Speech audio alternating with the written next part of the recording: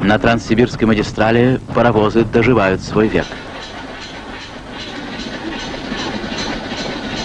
Электрические провода уже протянулись на многих участках пути Москва, Куйбышев, Иркутск, Дальний Восток.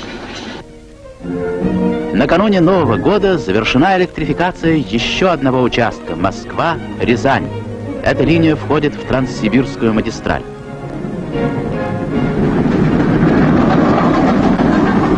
Первый электровоз ведет депутат Верховного Совета РСФСР Аркадий Мот. В поезде почетные пассажиры. Те, кто ставил бетонные опоры, подвешивал провода, возводил подстанции. Недалеко время, когда электровозы помчат поезда из Москвы на Дальний Восток. Это будет одним из больших свершений семилетнего плана.